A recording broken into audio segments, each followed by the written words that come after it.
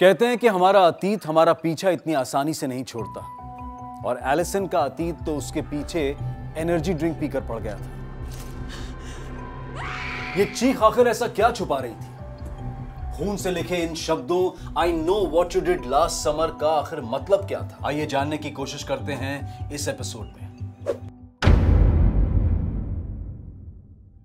Party जोरों शोरों से चल रही थी। इसी बीच लेनिन और उसके दोस्त डिलन राइली मार्गो और जॉनी रफ्तार पर सवार होकर हवा से बातें करने निकल पड़े थे। बचपन में कहावत सुनी थी, बोया पेड़ बबूल का तो आम कहाँ से हुए? इनसे उस रात एक ऐसा ही ब्लंडर हो गया था, जिसका अंजाम ये लोग ऐसा इमीडिएट नहीं सोचे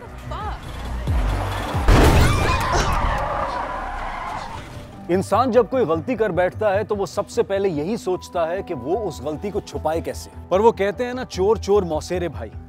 इन सबने भी अपनी गलती पर पर्दा डालने के लिए एक दूसरे से हाथ मिला लिया।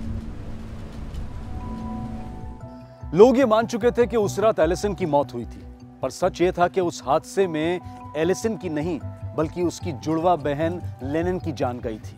इस हादसे को हुए एक साल बीत चुका था।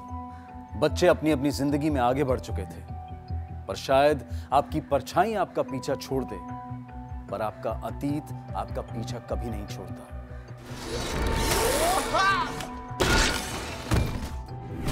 जॉनी की मौत के बाद शक का कांटा अब इन चारों के सर पर मंडरा रहा था।